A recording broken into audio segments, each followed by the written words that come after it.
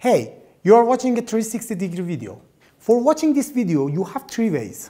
Number one, using VR glasses. Number two, if you don't have any gadget and you're watching this video with your cell phone, just touch the screen with your finger and change your viewing angle. Try it now. And number three, if you're watching this video with your PC, just drag and drop the screen to change your viewing angle.